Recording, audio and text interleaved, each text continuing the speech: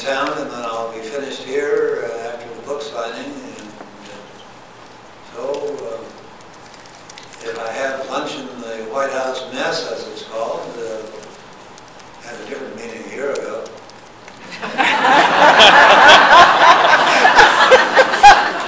I'll, uh, I'll uh, represent all of you. In any event, uh, uh, the number one, Adam is the two speechwriter. The number one speechwriter is my, a man named Jon Favreau. Very young, in his mid-20s, graduate of Holy Cross, has been with uh, Obama from even, even before Adam, from the beginning of the campaign. And he's a brilliant uh, young man. The number three is, first name is Ben, it might be Ben Rhodes, I'm not certain. Number four is a lady who came over from the Clinton, Hillary Clinton campaign after she was uh, out of the race, and I don't know her, I haven't met her. There's probably a number five also. This gives me an opportunity to uh, tell you uh, how times have changed. The, in the Kennedy White House, although Arthur Schlesinger, a brilliant friend of mine, was historian uh, who could uh, write well and uh, was called upon by me and the president for help. Essentially, the speech writing department in the Kennedy White House had only two people, John F. Kennedy and me.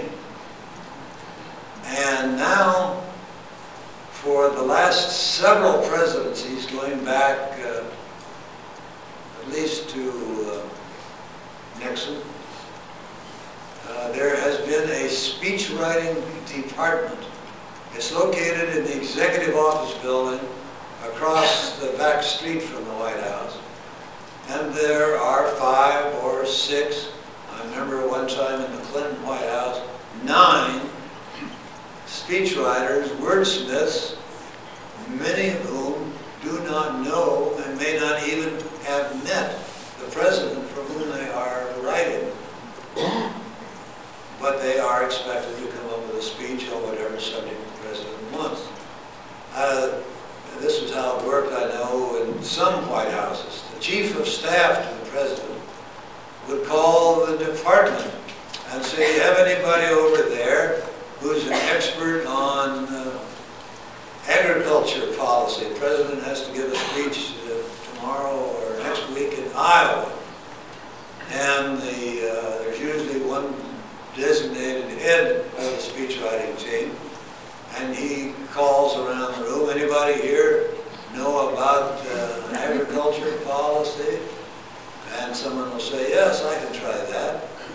And that person doesn't know what the president has thought or said.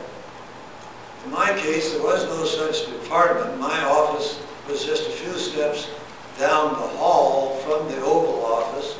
My office uh, has uh, since uh, then been uh, usually occupied by the vice president because it's the second best office in the West Wing. For one thing, it has its own uh, restroom.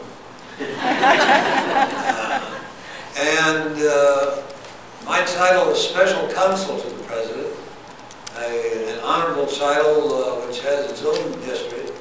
I may or may not mention it in the book. I might have described that in my first book because the first occupant of that, uh, the, uh, the title, Special Counsel to the President, was uh, Judge Samuel Rosenman, uh, who was the first uh, man with that title and was also a key speechwriter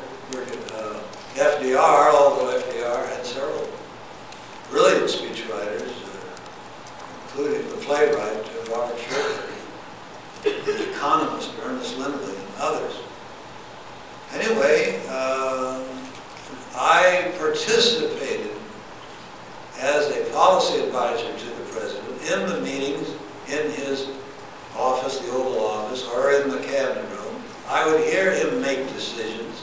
I would see what arguments made the most impression on him. That made it very easy for me to walk down the hall of my office and put together a first draft of a speech reflecting the decision he had just made. I would not have enjoyed being over in the EOB on the other end of a phone call saying the president wants a speech on agriculture. And by the time I was in the White House, I'd already known the president for, uh, for eight years in the Senate and then all those years in the White House. And uh, that, I think, makes quite a difference. I also am not a believer, and I don't know if you're discussing this, do you, your, uh, your uh, conference here or not, I am not a believer in group authorship of a speech. I'm told that at times in the campaign,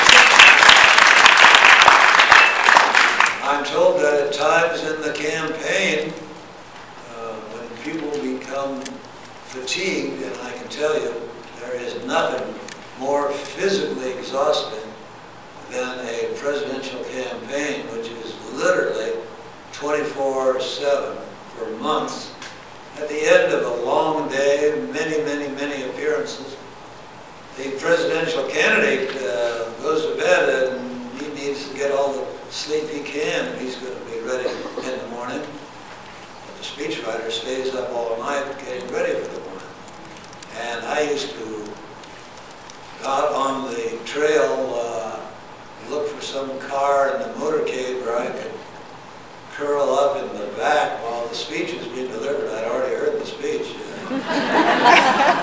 So uh, I'm told that uh, during the Obama campaign,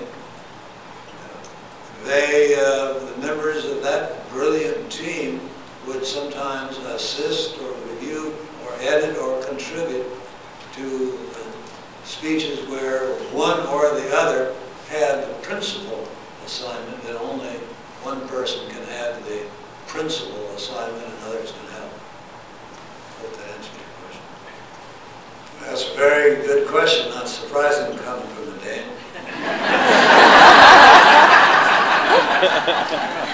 the song, There is Nothing Like a Dane.